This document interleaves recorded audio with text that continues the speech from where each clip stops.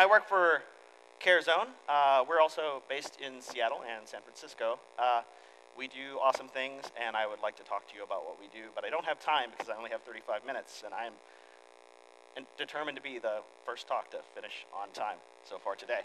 Um, so I've been thinking a lot lately about choices. Um, you know, there are times in our lives where uh, we encounter a fork in the road, and we have to kind of take stock of where we are, or where we want to be, and uh, then pick a direction we think is going to get us there. Pick a vector, if you will. See what I did there? Um, now, sometimes, sometimes the choice is easy. Uh, it seems trivial, maybe, or, uh, or obvious. Like, I have a standing policy. If someone offers me a cookie, the answer to that is always yes. But then sometimes uh, it's a little trickier. Um, the choice is obviously important, but uh, we might not even feel as though it's really our, our choice to make. And every several months, uh, for the past uh, couple of years now, actually, uh, I go in for a regular follow up cancer screening. Um, for those that don't know from Twitter, I had testicular cancer a while back. Now, I could probably choose not to do those things, but it doesn't really feel like it's a choice I have. And before you get too far, uh, feeling bad for me with the cancer and all, I had a lot of fun with my cancer.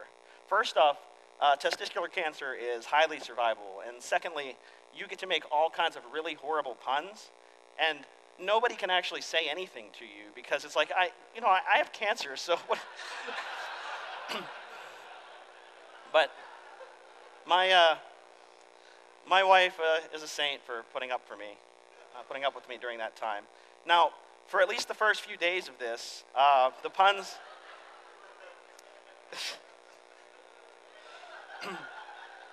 the, uh, for at least the first few days, the puns were nuts. Um, after that point, they were just not, of course. Um, so,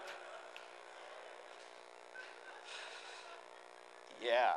All right. Um, so, so this talk uh, had its origin um, last year. Um, my friend Terence, uh, who's one of the organizers for Keep Ruby Weird, uh, he tweeted this at me one day, and I had a choice to make.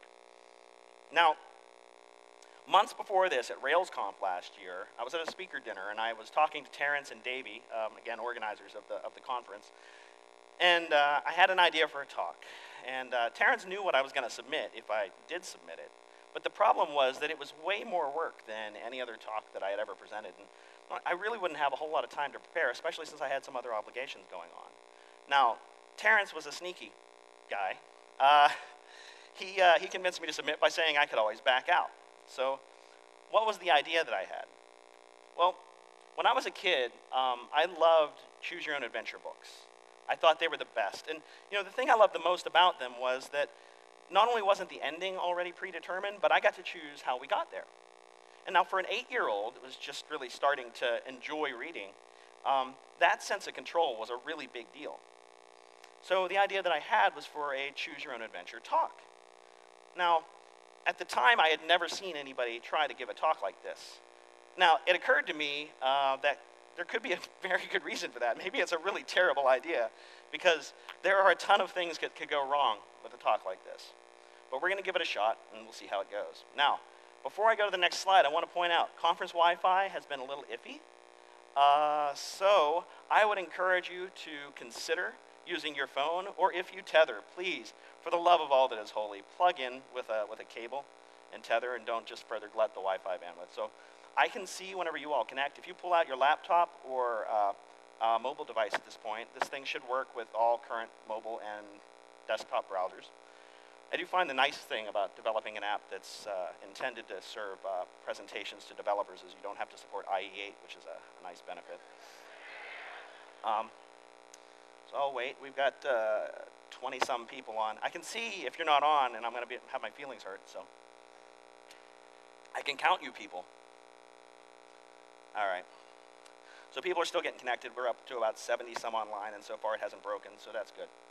Um, so we're going to go ahead and see if we've got the idea at this point. Uh, of the animals that are selected, that are displayed here, pick either cats, dogs, squirrel monkeys, or Venezuelan poodle moths as your, as your favorite animal. And uh, in a couple of moments here, we'll see who wins, and, and we'll go that way. All right. Wow, dogs winning. And here I thought Ruby people were cat people. All right. Dogs it is. You can stop voting now. You get to see the dog, and uh, you get to see an extra picture of a dog because, you know, I'm being nice here. All right, good. So we've all, you've got the idea, right? Okay. So, do you remember these things? Now, nowadays I walk right past them. Uh, I don't even most of the time notice unless they have some really cool toys. Uh, but when I was a kid, these things were the highlight of any shopping trip that I took with my parents. Um, and if I had a quarter or I could convince my parents to give me one, you know, I would stand in front of these things and just agonize over which choking hazard I was going to buy. And one of my, one of my all-time favorites were these sticky hands. These, these are one of the all-time best vending machine toys, in my opinion. Well, you've probably also used one of these. This is just a gel wrist rest, nothing terribly exciting about it. And many years ago, um, I had one that looked almost exactly like this, and after many years in the sun, it had started to fall apart. So I peeled the cover off, and I made the most amazing discovery. Turns out that the gel, the gel in, the wrist, in these wrist rests, that, that didn't take long. Um, the gel in these wrist rests is made from the exact same thing as sticky hands. except, except in really massive amounts. Now, over the coming weeks, our office had lots of fun uh, with, this, with this new toy that we had discovered. We even gave him a name. His name was Roderick. Uh, I'm not sure why we called him Roderick. I guess he just looked like a Roderick. But in any case, we would, we would fling him around at each other. We would grab stuff off of our neighbors' desks. Um, it's impossible to overstate, really, Roderick's entertainment value. Um, and one day, we decided to just see how far we could stretch Roderick. So my friend, my friend Jeff, oh yeah, the, no, so my, so my, so I grab an end, uh, I grab an end of Roderick, and my friend, my friend Jeff grabbed the other end of Roderick and he started walking across the room. And he got, he got pretty far, I would say, probably about this far from the podium with Roderick. Now, in physics, in physics, there are two kinds of energy. There's potential energy, uh, such as the kind you get when you stretch a slingshot, or, you know, you can also store up potential energy by maybe stretching a gel wrist rest across the room. And then there's kinetic energy. And uh, kinetic energy is energy, energy in motion, and it's what you get when you release the slingshot or the wrist rest. And you probably have also heard of this thing called gravity. Now, at about this time, Jeff decided he wanted to let go of Roderick. Um, I remind you where I'm holding Roderick. Now, potential energy, yeah, potential energy, a lot of you people knew where this was going. Uh, potential energy quickly became kinetic energy, and gravity doing what gravity does, you might imagine what happened next. Uh, I spent the next few minutes curled up in the fetal position while people couldn't quite tell if I was laughing or crying, and truth be told, it was a little bit of both because it was, it was pretty funny. Um, you know, on the bright side these days, I have half the surface area for that particular attack vector. So, uh, my point, my point is that choices have consequences, and you know, we, we tend to think of consequences as a negative thing, but the word literally just means a result or effect. Um, so all I'm really saying is that, you know, that our choices change the world in some way. Because otherwise, what's the point of even making choices? It's a law of cause and, cause and effect. Uh, it's as inescapable as, as gravity. So if our choices are bound to have consequences, it makes sense we'd want to optimize them. But, you know, how do you really do that?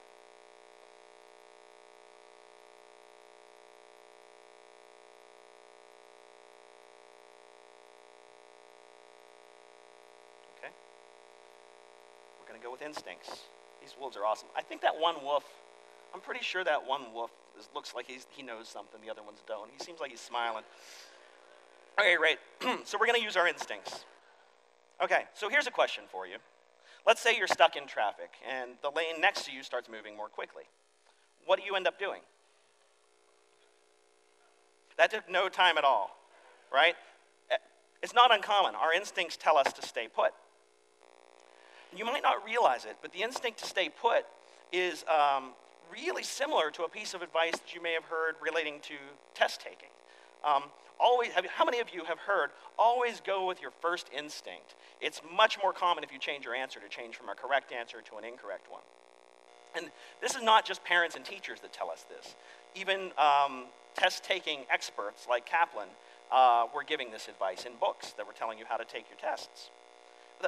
Only problem is it's not actually true. Um, and there are actually decades of studies that prove it's not true. But if, if that's the case, then why do we find this so believable? I mean, why does this misinformation continue to spread? And it really comes down to a phenomenon known as loss aversion. There's this asymmetry in the way that we feel uh, about getting the wrong answer on a test if we had the right one, versus getting the, the right answer if we'd previously had the wrong one. Um, if we change from a right to a wrong, we're going to remember that answer uh, a lot more. That situation is going to take a higher, higher precedence in our mind. And that's a big deal because um, losses are about twice, at minimum, twice as, as impactful uh, as gains psychologically. So this is why it, it seems to make sense instinctively. Here's another one for you. Let's assume that the following, you people don't even know what I'm asking yet. Let's assume, let's assume that this following sequence of X's and O's represents hits and misses in a basketball game. The X's are hits and the O's are misses. Now, do you think this sequence represents someone who's on a hot streak, um, a ch- uh, just chance events, or maybe a cold streak, or something else? You know, if we, if we look at this, six of the first eight are hits. Eight of the first 11 are hits. But if you pick any point in this sequence, it's just as likely the next character is going to be an X as it is that it's going to be an O. It's completely chance. Good job, audience. Your, your drinking has not impaired your judgment. But it's, it's, it's a perceptual illusion. Um, I can tell you repeatedly the tops of these two tables have the same lengths and widths. You can even get out something and measure them right now if you want to check. It's not going to change how you feel when you look at those pictures. Whether it's tables or basketball streaks, um, your instincts are going to override the reality of the situation. Whether you know it's an illusion or not doesn't really change how you perceive it. And this has gone to extremes. Years ago, when Apple released the iPod Shuffle, uh, people started complaining its shuffle wasn't random because they were noticing streaks of songs by the same artist. And so conspiracy theories started springing up. Um, people were suggesting that Apple was taking bribes, various kickbacks, to actually give certain artists preferential play in a playlist. So Apple introduced a feature called Smart Shuffle to the, the iPod Shuffle. Um, it was designed to prevent streaks. It, its whole job was literally to make things less random, to make them more random. So it turns out that our instincts are, are really good at uh, making you know, snap decisions about things like maybe I should run away from this saber-toothed tiger, but they're not so well tuned for making subtle judgments, uh, no matter how much we might feel otherwise. And it's not just uh, the stuff that we consciously choose either. All kinds of variables can influence the outcomes of our decisions. Now, some of them are, are internal variables, and some of them are external variables. Looks like you all want the internal story. Okay. So the most influential variables are internal. Good. Okay, I can get behind that. You know, all kinds of internal internal uh, variables can, can really mess with uh, how things turn out for us. And for instance, a big one is emotions. So in my younger days, um, I went on more than a few hay rides. And uh, you familiar with hay? I assume hay rides are a thing here. Um, you know, folks think it's great to load a bunch of kids into the uh, back of a trailer filled with hay. And as a long-time allergy sufferer, I, I never quite, quite understood this, but whatever. But on the bright side, you know, there's always a, a bonfire afterwards, and you get to have like hot chocolate and s'mores and marshmallows and whatnot. So it had that going for us. Um, now, I'm at a hayride. The hayride's over. We're, we're at the bonfire. And I'm standing off to the side trying to mind my own business. And much to my surprise, two uh, attractive young ladies came by to chat with me. Now, this confused me because I was nowhere near as handsome as the two gentlemen you see in this stock photo. This was me.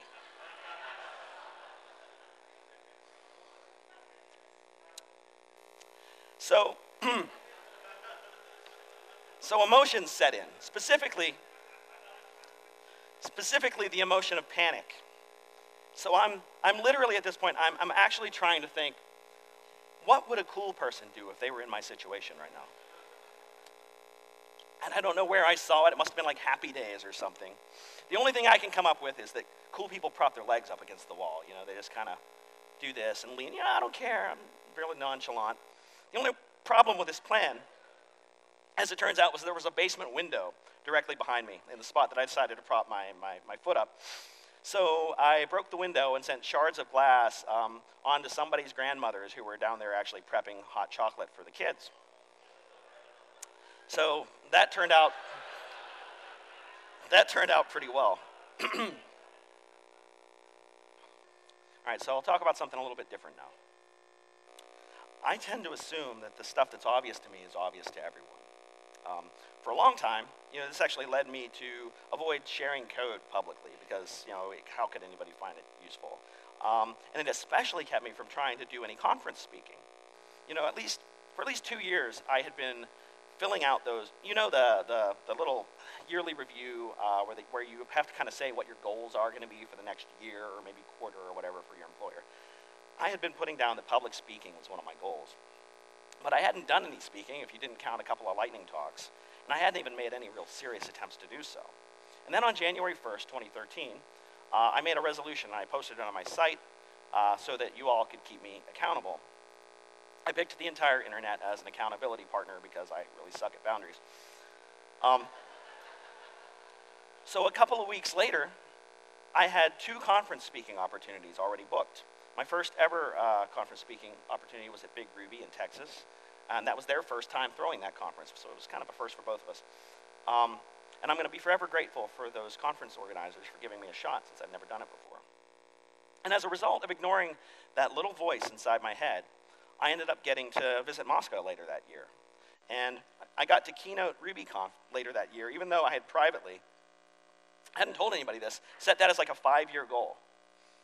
Uh, I got to go to Barcelona last year uh, to speak at Full Stack Fest. You can, you might notice Matz is in the audience looking super engrossed in what I have to say too.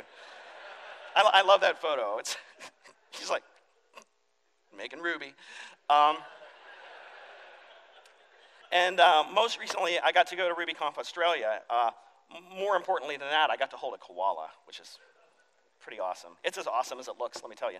So, but most importantly, more importantly than any of that, I got to meet so many new friends during all of these travels, uh, and they've all, you all have enriched my life beyond measure. And all of this happened not because I have any special ability. It, it, happened because I chose to ignore that little voice inside my head that was saying, What will other people think of you? I love this quote. We would worry less about what others think of us if we realized how seldom they do. So it turned out, really, that even though I was saying they were different, the hayride and the speaking thing had a few things in common after all. Um, I didn't recognize this until a lot later. But almost every time I've opted to behave in some way that's, that's inauthentic to who I really am, just because of what someone else might think, I've missed out on something. Now, look, I'm not you. This is not a prescription for what you need to do. Um, patterns you might see in your life are different than the patterns that I'm going to recognize in mine. But I promise you this you are going to spend the rest of your life living with yourself. And if that's the case, maybe it uh, makes sense to take some time to try to sort some of these patterns out. So, which one are we then?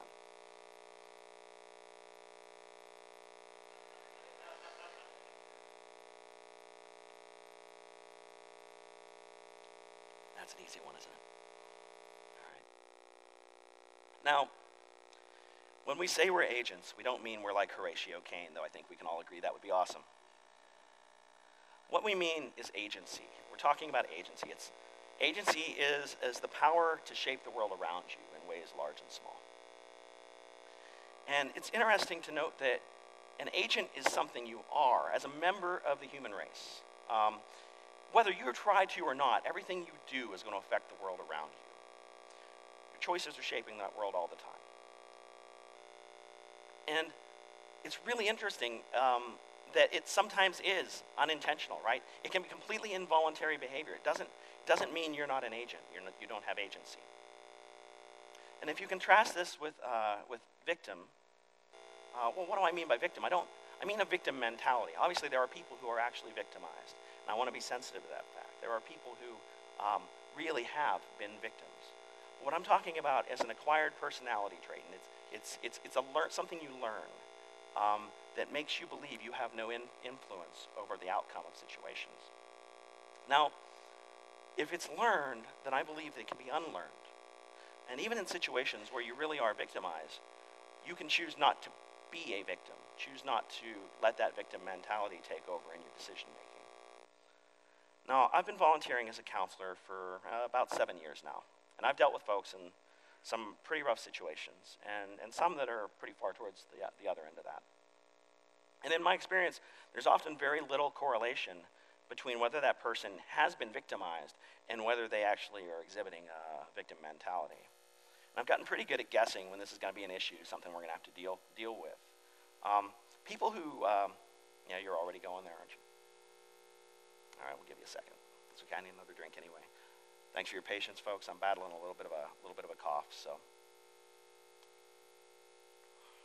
So, interestingly, um, people who feel powerless usually resort to being passive aggressive. Um, they have difficulty acknowledging. Oh, look, you also. you changed, it, yeah. Very good. A for effort. because they have difficulty acknowledging their anger. They don't process their anger uh, directly because they don't feel good about themselves either. So it tends to, it tends to come out in very strange ways. Now, there are situations uh, that we genuinely can't control. You know, uh, things happen, uh, life happens, but uh, we should be looking for the things we can or even that we did control. Uh, again, this is another good quote. If it's never our fault, uh, we can't take responsibility for it. If we can't take responsibility for it, we'll always be its victim.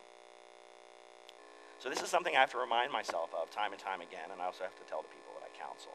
If you can't control the outcome, you can still control your reaction to it. And the point is that you are an agent, and agents make choices, agents choose. Uh, I'm going to make a guess that a fair number of you in this room uh, recognize these two images.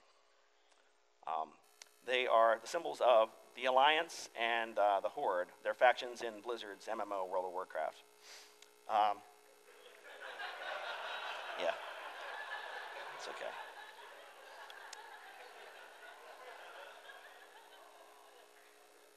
I, I appreciate the awe from some, somebody sympathetic in the audience. How kind. Right? So years ago, I played a lot of World of Warcraft, and I mean like a whole lot of World of Warcraft. This is a screenshot of a friend and me posing with King Magni Bronzebeard. Uh, we were the only two dwarven grand marshals on Argent Dawn. And if you know what any of that meant, we should probably talk later. Um, I swear there's a point to this. We're going to come back to it in a minute. Um, so we're agents, and agents choose. We're always making choices. Uh, and we're making them whether we're conscious of it or we're not. Even choosing not to choose is a choice. Give me a second here. This is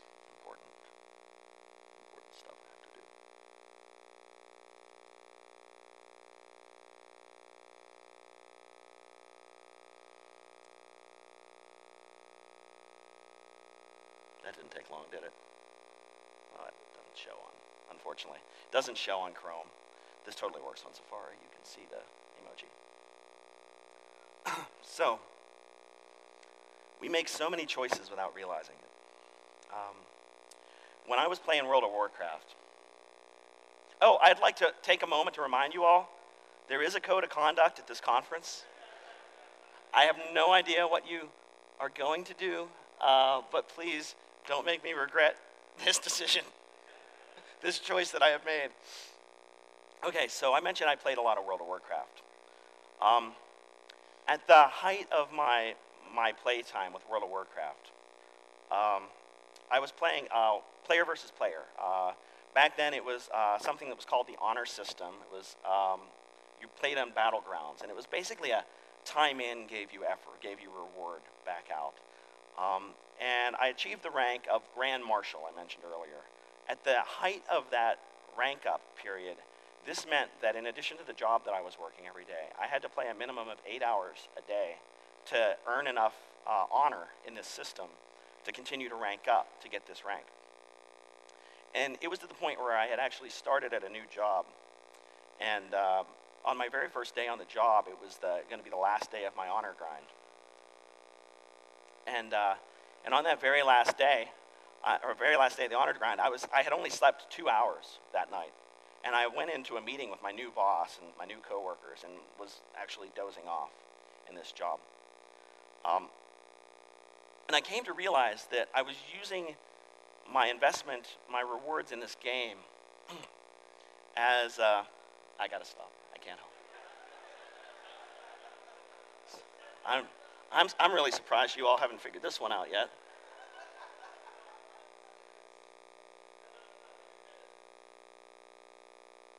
Oh, Adam left. Adam, you're not helping me much. All right. So, at the height of this, I was realizing I was using this as a surrogate. I was using this as a surrogate for not feeling like I was going anywhere in my job. I had been miserable in the last job, which was why I started a new job. Uh, and I was doing this because I needed to feel that sense of accomplishment. Um, and so we work all day sometimes, and we, we run out of time, right? We don't have time to do, uh, do the work that, uh, that we wanted to get accomplished. And so we think, we think maybe we, we suck at estimates. Um, but we, it's not that we suck at estimates necessarily.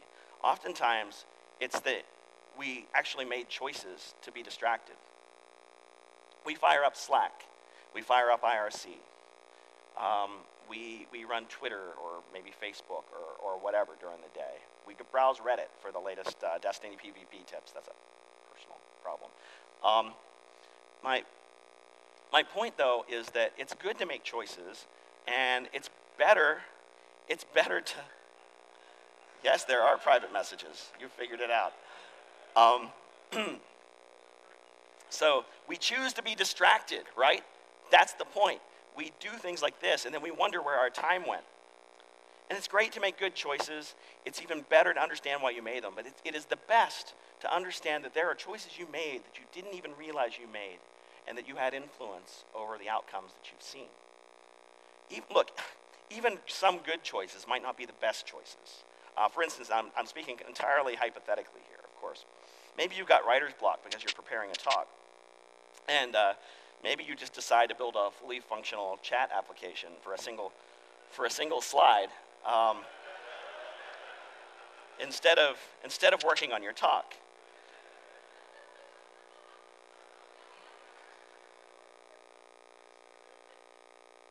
Right. All right, get your last chat in. We're moving on. Have I made my point? Is it easy to get distracted? All right.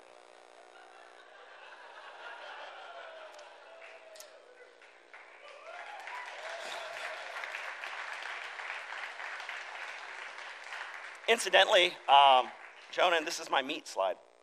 Um, he has amazing hair. He has absolutely amazing hair. Okay, so it's, uh, there's a word for this, um, uh, for being deliberate, and it's intentionality. It's actively choosing your choices. And it's my hope that if there's some area of your life where you've been a little less than intentional lately, um, before today, that uh, you're going to leave here determined to change that. And look, I, I didn't know how this was going to go when I first started building this application, uh, when I said I would build this presentation. I didn't even know how it was going to go when I got up here in front of all of you. Um, there are a whole lot of slides in this talk that you didn't see due to the choices we made today. And plus, I wasn't sure the Wi Fi was going to cooperate. Um, did we choose wisely? Um, I mean, that's really the thing. Uh, the, the real adventure is in, is in not knowing how the story is going to end, isn't it? Thanks for your time.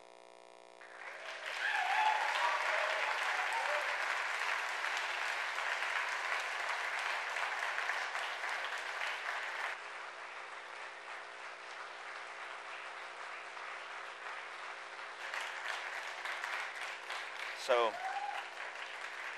I, what's the best slide in my presentation that you didn't see? That's an awfully subjective question, isn't it? That you didn't see. Make a choice, Ernie, up or Uh, down. probably. It's probably. Let's see if I can find it quickly. It's the meat slide. I know the answer. It's the meat No, slide. it's you already saw that. Question was, what is the best slide that we didn't see? Right? Um, I don't know. That's that's a hard one. That's super hard. Uh, let's say that it is. Nobody ever chose that. Oh, look at you trying to vote. I, I, I was there for like a second. Actually, this is my favorite slide, and it's self-serving, right? But um, I got a chance to work. Uh, I had the condensed startup experience, uh, and I worked in a San Francisco startup for about five, six weeks.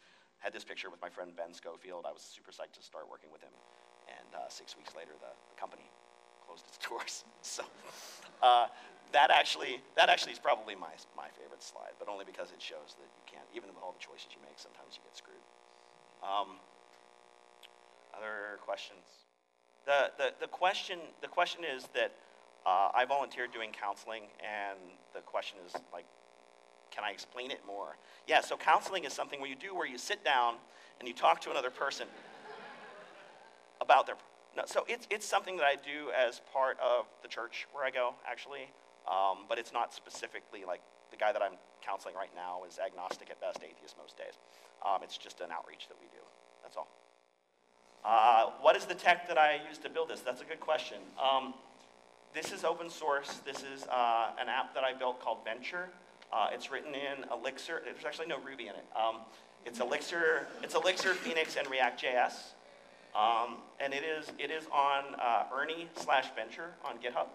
So go check that out if you want and play around with it. Um, anything else? Anybody up top has any questions?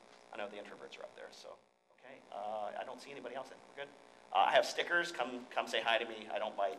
I might give you germs if I hug you, but you can totally have a hug. Free germ hugs. You heard it here first. Another round of applause, please, for Ernie Miller.